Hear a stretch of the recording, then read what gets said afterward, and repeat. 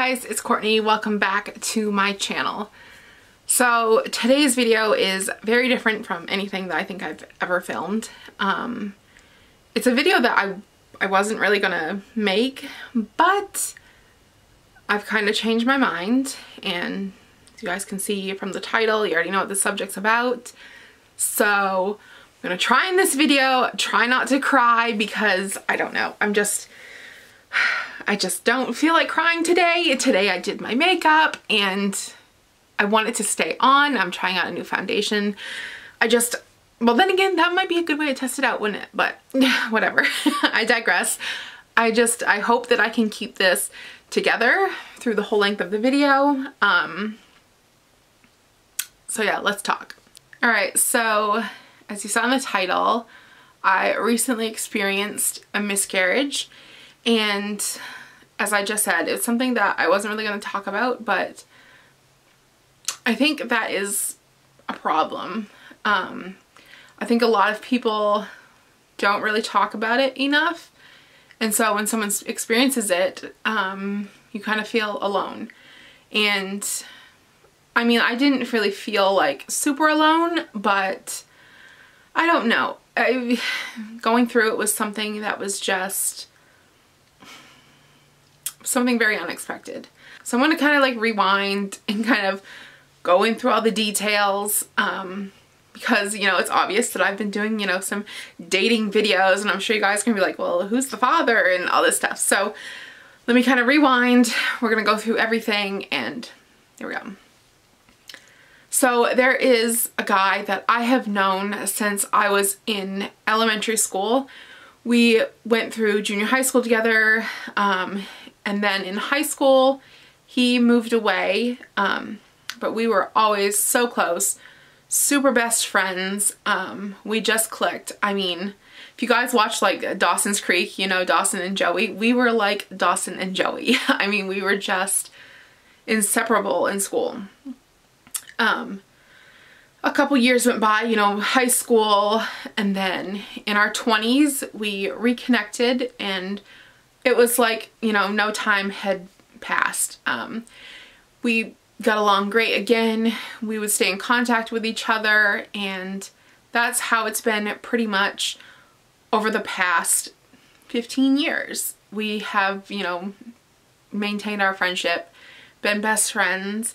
About two or three years ago, we kind of drifted apart a little bit and recently last year, last year I think, we kind of got in contact again and this time he was living um, down in one of the southern states, um, doing really well for himself and, you know, just doing fantastic. I, of course, live up here in Maine, so we did have quite a bit of a difference between us. Sorry, I can't really talk right now. I'm trying to, like, think of everything. Um, we did have some distance between us. So, fast forward, you know, like, I mean, we FaceTime, we talk on the phone, you name it. Um, fast forward to this, well, it was right before Christmas of this past year. Um, he came up here, his family lives up here and everything, so he came up here for a visit and of course, you know, we decided we'd get together and we did. One thing led to another and you know, y'all know what happened. Um, of course, he had to go back, you know, to where he lives. That's fine. Um, a few months, actually it was a month, a month prior to him coming here, he had a child born um, with a woman that he was with that cheated on him. They've been separated. Um, so that's probably the reason why he came up this way because his baby mama lives in this relative area. Um, so he is a new dad. Um, he isn't able to be around his child a whole lot right now. Um, COVID has really played a part in that. You know, both of his parents kind of agree, both of her parents agree that um, they don't really want, you know, like a whole bunch of people around and, you know, in his line of work, he's around a lot of people, so he, you know, he gets to FaceTime her all the time, but, you know, he doesn't get to be hands-on. So, there's that. um, fast forward now to January. It was the end of January. Um, yeah, just about the end of end of January. I was due for my period and my period has always been very like up and down when I was younger in my teens and my early 20s and then when I got closer to my 30s and now in my 30s my period is so like on time. I can tell you the day it's to happen, how long it's to last. I mean, you name it, it's right down to a science. So when my period was late, at first I wasn't quite concerned because with my history, it can happen, you know, it can be late, it can not come for a long time. So I didn't really think anything of it. Um, but then I just started feeling very very different. I, um, the foods that I liked were just tasting different to me. Um, I'm trying to think what was some of the other signs.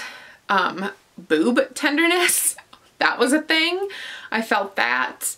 Um, it was just tiny little things that, I don't know, it just seemed very different to me.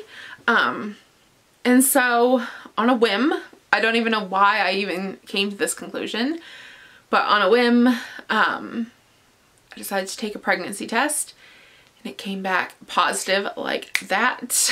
um, so then naturally I went and I got three more tests and all three of those tests positive. Um, and I about died. Um, now I want to preface and say that, you know, my partner, you know, we were safe. So this was not something that I was really, um, expecting, you know. Um, so yeah, I found out I was pregnant and I was just floored. I didn't believe it. I, I'm the type that when I was growing up, I, um, oh my God, trying to talk about this. when I was growing up, I wasn't the type of girl that, you know, dreamed about getting married and having kids and, you know, the family life and that just, that's never really been me. Um, I've always just kind of been content of just rolling solo and doing my own thing. Having kids, I mean, I love them, but I'm the type person that I want to make sure that I have A, B, and C crossed off my list before I even have kids. You know, I want to make sure that I can fully 100% take care of them and, you know, be in the right spot financially and, you know, in a relationship wise, you know, I don't, not against anyone who doesn't do that, but I just wanted it to be very set in stone, you know, I'm married, I have money, I'm all set, you know what I mean, before I create another life. So when I found this out, I was kind of, I was scared and then I was kind of just floored, shocked, um, and I know like I know that this is gonna sound terrible especially to those that are trying and I'm sorry but this is just this is my reality part of me was just kind of bummed that this happened because it's just not what I had planned you know it was not in my plans um so I um I didn't have I just, how did this work? I think I just signed up for insurance and was waiting for all like the info and whatever. So I didn't have an insurance to like go to a doctor and do everything. Um, but I was in the process of it. Um, a week after I found out that I was pregnant, I woke up in the middle of the night and I just wasn't feeling that great. I felt very lethargic, very um, just tired, worn down. Um, I did not feel like myself. Um, I got up, went to the bathroom, everything was fine, and um, I just, you know, I just kind of played it off, whatever.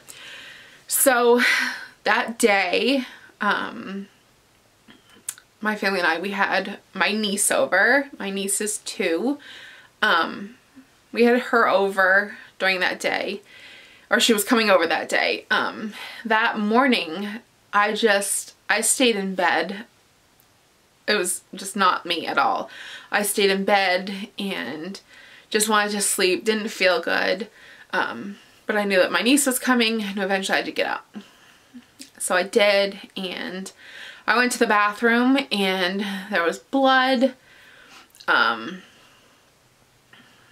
there was um, like a little bit of tissue, not anything like major anything, but just it was slightly different than when I have my period. Um, and part of me just kind of knew right then and there that um, something was wrong. I mean, obviously I knew something was wrong. Um, so I just kind of went the rest of the day. Um, this part, this part, if I cannot cry during this part, to be hard. So anyways, later on the day, I went over to my parents' house. oh my gosh. Hi. You coming in to say hello and be on video? we have a guest now. Um, but yeah, so went over to go see my niece and I swear kids know when something is not right. Like just subconsciously they know. Um, she had come over to me that day and she put both of her little hands on the side of my face and she just said, you know, I love you, auntie. And that just kind of broke my heart. Um,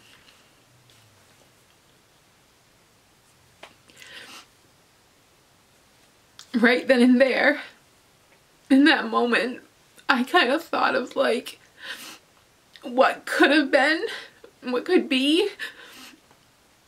And I don't know, I was so torn because part of me, a good part of me was not happy about this. But then there was this other part of me, you know, being around my niece and seeing her.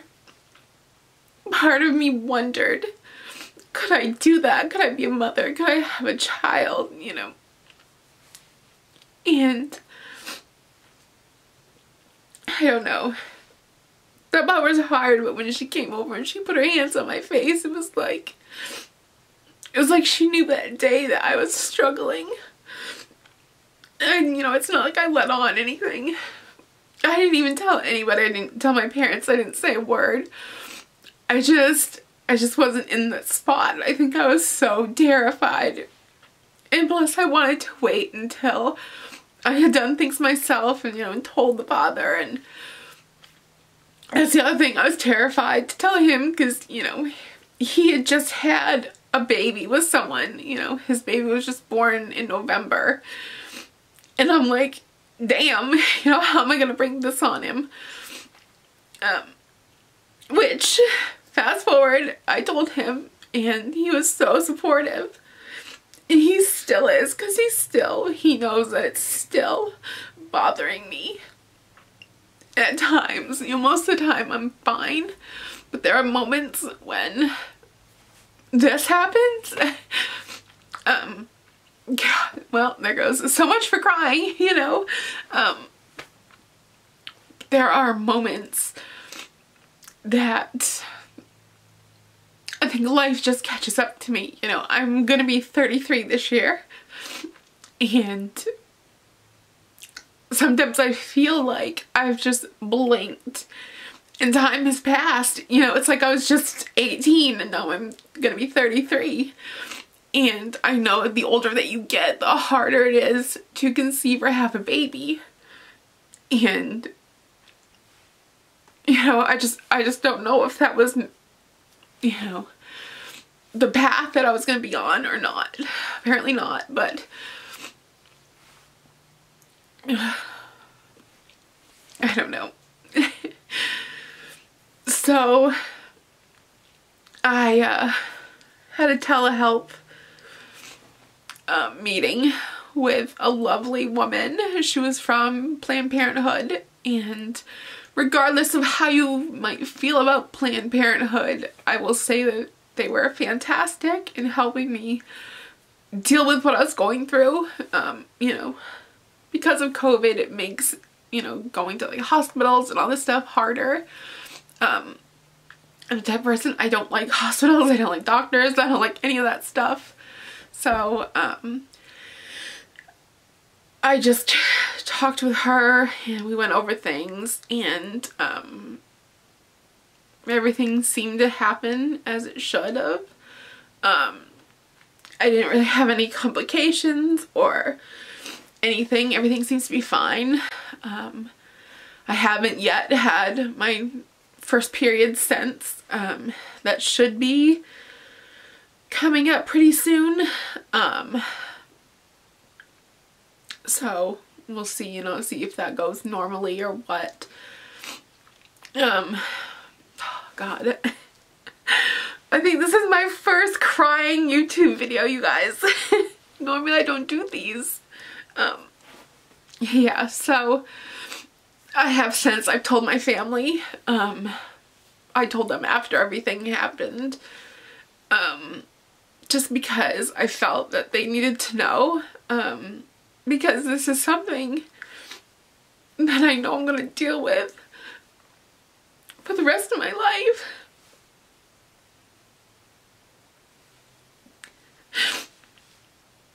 So they needed to know. Um, and that's kind of why I wanted to come on here and talk about it. Because, you know, not many people do. Not many people are so open about it. And the thing is, is when I was talking to that lady, you know, it's so common. It happens to so many women. And a lot of the times, like, with me, you know, mine was early on. With a lot of women, it happens and they don't even know it because they didn't even know they were pregnant yet. Um, for me, I had found out because, like I said, my period was like, you know, it had a schedule and it was, you know, I could tell you exactly when it was coming. So when it didn't, that's why I got alerted. Um, I think it's just important to just talk about it so it doesn't feel so closed. Um, talk about it so other women know that it happens. Um, I haven't, I haven't, you know, fully gotten to the place where I can talk about it, obviously where I don't cry, um, but I'm getting there and things are getting better. Um, I'm a firm believer in Mother Nature and I believe that Mother Nature knows best. Um, I believe that, you know, what's meant to be will happen and if it doesn't then there's a reason. So there was a reason why this happened to me and there's a reason why it went away. Um, yeah, so that's my story. Um, I just, like I said, I just want to put this out there just so that there's another voice. Um, because, you know, so many people go through this and they don't have anyone. So if I can be, you know, like someone who's been through it, you know, you could talk to me, you know, it's, it's nice to have people who've been through things that you've been through. And, um, yeah, you know, if you're going through a miscarriage or pregnancy loss, you know, I'm here. You know, if you ever want to talk, you can shoot me on uh, social media. I can't even talk right now. I'm so like um, you can shoot me messages on social media or something and I will always be here to listen and try and help. Um, I want to say thank you to my friends uh, that I have as my little group on Facebook. Um, some of you guys have reached out and I just want to say thank you very much. Very, very much. It means a lot to me. Um. I'm getting stuffy now. I'm trying to stay happy and be positive and yeah, sometimes it's hard, but you know, we just keep trudging through. So that's my story. Just want to put it out there. Thank you guys for watching this video and listening to me and watching me cry on camera for the first time. Oh, I never wanted to be one of those YouTubers. Never. And there we go. So, whatever. I will have up my second bag from the Michaels haul. Um, all this stuff kind of happened in the middle of this and I just haven't had a chance to sit down and edit that video yet. Um, so please bear with me. Um, I'm going to put this one up first just because I think it's a little bit more relevant, more important than a haul from Michaels. but that one is coming if you are interested, so stay tuned. Alright guys, I'm getting off from here. Thank you all for listening. As always, I will see you guys in my next video. Bye.